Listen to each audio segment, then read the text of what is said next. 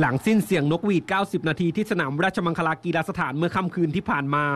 เปรียบเสมือนเป็นสัญญาณบ่งบอกว่า 3 แต้มแรกประเดิมเส้นทางสู่ฝันฟุตบอลโลก 2018 ของช้างศึกทีมชาติไทยได้เริ่มขึ้นอย่างเป็นทางการแล้ว เริ่มที่บันไดขั้นแรกของทีมชาติไทย คือการเปิดบ้านรับการมาเยือนของเพื่อนบ้านในอาเซียนอย่างดาวทองทีมชาติเวียดนาม เกมนี้ซิโก้จัด 11 ผู้เล่นชุดใหญ่ลงสนามแบบครบครันทั้งกัปตันอุ้มธีราทรบุญมาทัน เมสซี่เจชนาธิปสรงกระสินธ์ และเจ้ามุ้ยธีรศิลป์แดงดา ต้องบอกว่าตลอดเกมการแข่งขันเป็นไปตามที่สตาฟโค้ชทีมชาติไทยได้ประเมินไว้ตั้งแต่แรก ซึ่งเวียดนามจะมาเน้นตั้งรับและสวนกลับ โดยมีเลกงวินห์กองหน้ามากประสบการณ์เป็นตัวพักบอล ซึ่งภาพรวมของแมตช์นี้ต้องบอกว่าทีมชาติไทยมีโอกาสทำประตูออกนำหลายครั้ง ทั้งจังหวะของเกริกฤทธิ์ทวีกาญจน์ เอกชัยสำเล และสรวัตรเดชมิตร แต่ก็ยังไม่เฉียบคม อย่างไรก็ตามจุดเปลี่ยนสำคัญของนัดนี้อยู่ที่ใบแดงของเวียนมินเชา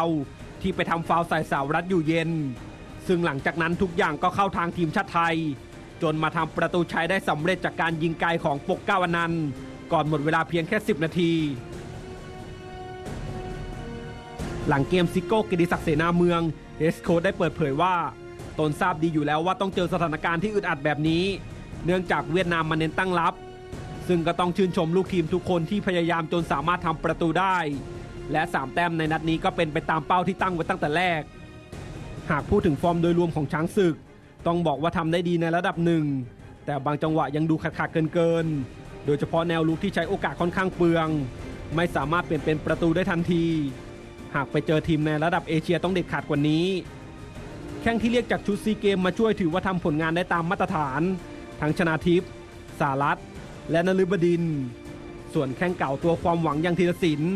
ต้องบอกว่ายังไม่สามารถปรับจูนให้เข้ากับระบบเพื่อนร่วมทีมได้ ขณะที่ในด่านสุดท้ายอย่างสินทวีชัยหทัยรัตนกุล ก็อาศัยประสบการณ์ออกมาตัดบอลช่วยทีมได้ถึง 2 ครั้ง ถือเป็นช็อตสำคัญที่ทำให้ทีมชาติไทยรอดพ้นจากการเสียประตู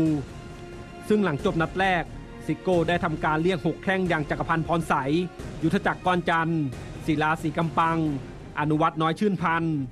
ศวรรษลิ่มวรรณเสถียร และอุกฤษณ์วงศ์มีมามาติดทีม แทนบรรดาแข้งดาวรุ่งที่จะปลีกตัวออกไปช่วยชุดซีเกมส์ ซึ่งหลังจากนี้ทีมงานสตาฟโค้ชยังพอมีเวลาในการปรับจูนทีมให้ลงตัวมากขึ้นกว่าเดิม ก่อนที่จะบุกไปเยือนไต้หวันในเกมนัดที่ 2 วันที่ 16 มิถุนายนนี้ และนี่คือจุดเริ่มต้นแรกของทีมชาติไทยสู่ศึกฟุตบอลโลก 2018 ที่ประเทศรัสเซียเท่านั้นหนทางต่อจากนี้ยังอีกยาวไกลศรัทธาของแฟนบอลจะ กำลังสำคัญที่ทำให้ช้างศึกชุดนี้